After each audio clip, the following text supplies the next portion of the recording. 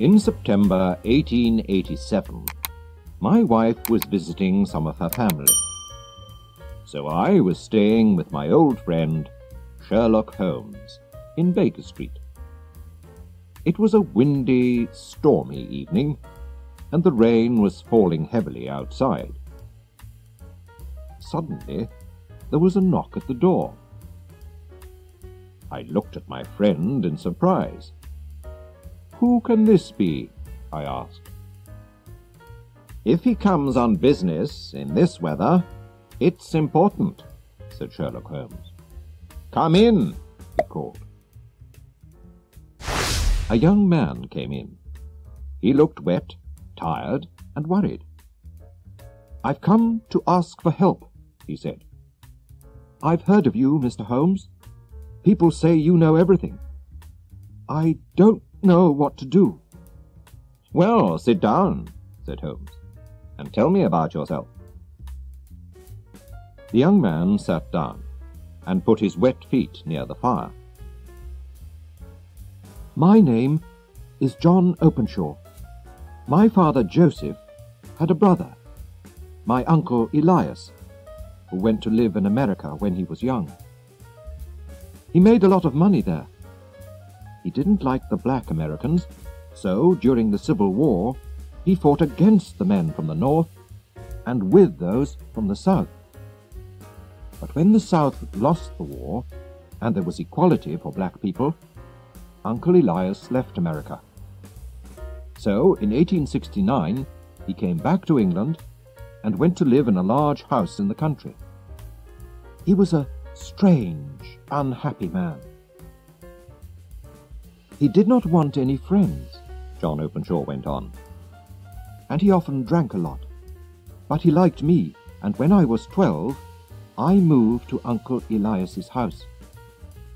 He was very kind to me. I could go anywhere in the house.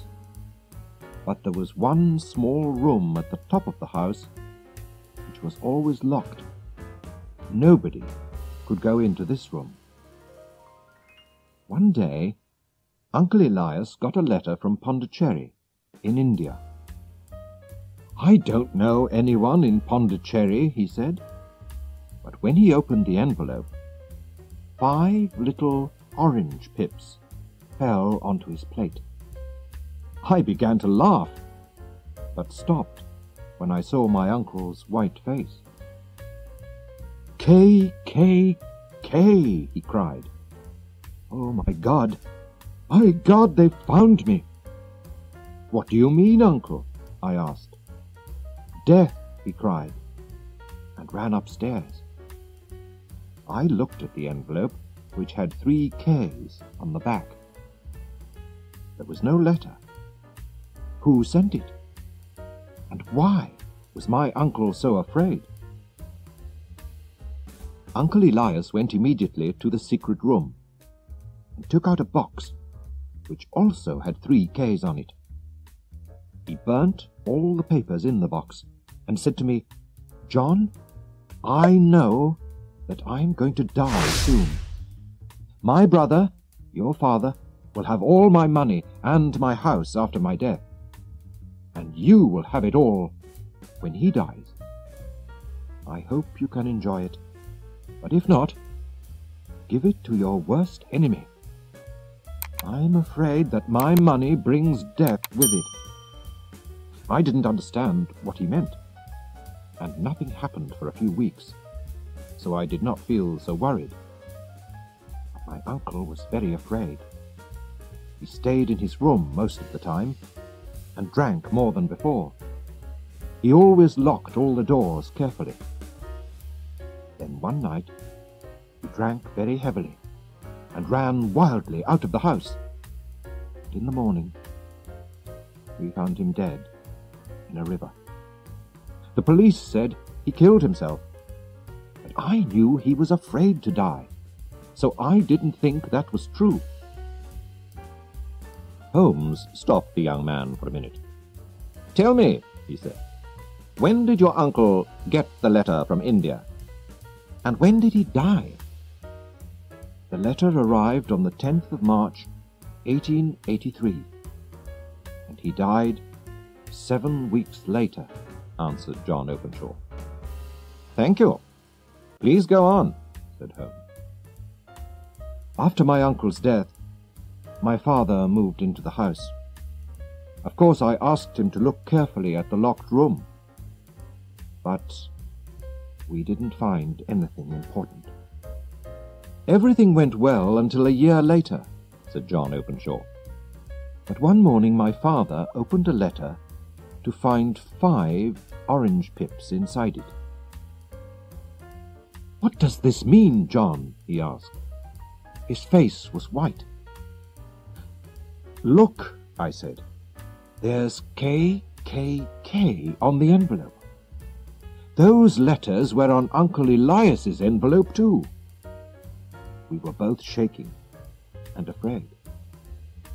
Yes, and this time it says, Put the papers in the garden. Which papers? The papers in Uncle Elias's box? He burnt them, I said. And where does this letter come from? my father said. He looked at the envelope. Dundee, Scotland. Well, I don't know anything about pips or papers. I'm not going to do anything. Father, you must tell the police, I said.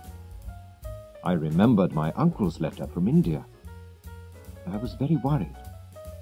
No, they'll laugh at me. Let's just forget about it, he replied. Three days later, my poor father went to visit an old friend who lived some miles away. But he never came back. The police said that he was walking home in the dark when he fell down a hill. He was badly hurt, and he died soon after. They decided it was an accident, but I didn't agree. I thought it was murder. And I could not forget the five orange pips and the strange letters to my uncle and my father. But I've tried to forget, and I've lived alone in that house for nearly three years now. And yesterday, I got this. The young man showed us an envelope with KKK on the back and five small orange pips. You see, he said, it comes from East London, and it says, Put the papers in the garden. Those are the words that were in the letter to my father. So, what did you do next? asked Holmes. Nothing, answered Openshaw. He put his head in his hand. I don't know what to do. I'm afraid. Nothing?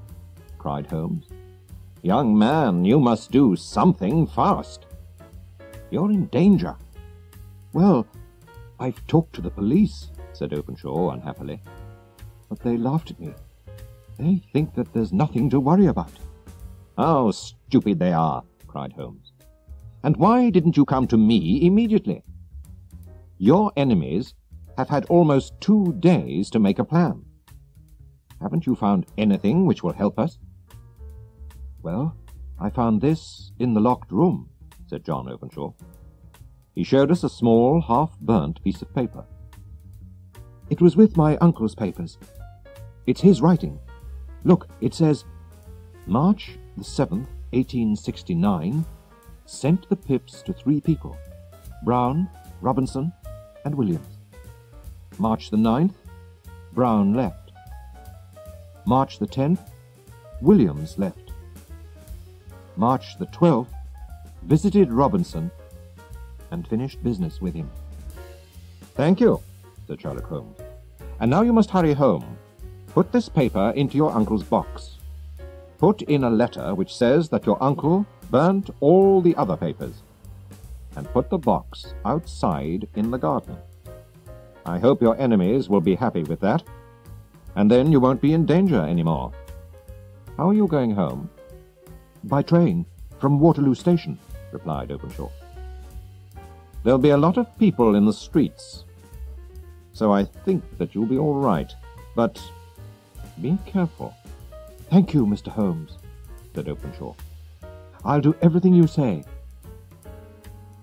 He went out into the dark night, wind, and the rain.